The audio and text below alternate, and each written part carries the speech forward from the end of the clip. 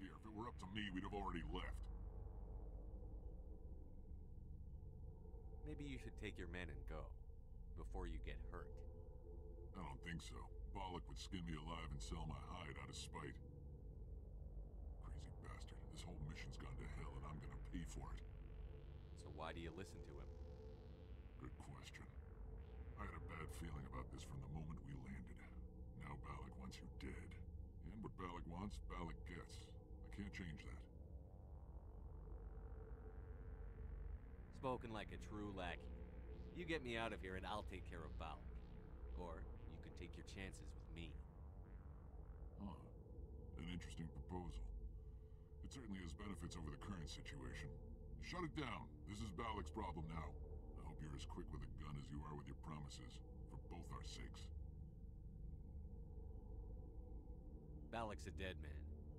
And if I ever see you in human territory again, so are you. Understand? Perfectly. Balak's holed up in the main facility. You'll need this to get in.